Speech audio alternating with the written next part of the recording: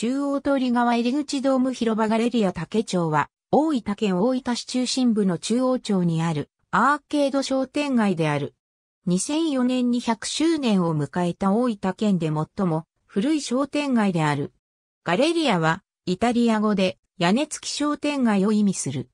大分市中心街を南北に走る目抜き通りの中央通りから西に伸びてオアシス広場21に至る延長349メートルの商店街である。途中で南北に伸びる商店街のセントポルタ中央町と交差する。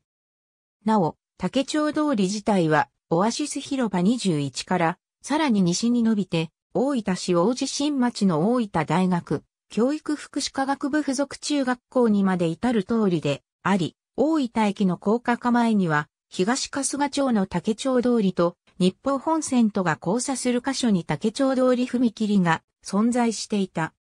中央通り側入り口からセントポルタ中央町との交差点までの部分は広場になっており、この部分にかかるアーケードは高さ18メートル、幅24メートルで断面積は日本最大。ガレリア竹町とセントポルタ中央町との交差部には開閉式ドームが設けられており、この広場はこれにちなんでドーム広場と呼ばれる。広場には1994年にポルトガルホブネのモニュメントが設置されていた。このモニュメントは上下に揺れる仕掛けを備えていたが後に故障し、2015年に老朽化及びドーム広場の有効利用のために撤去された。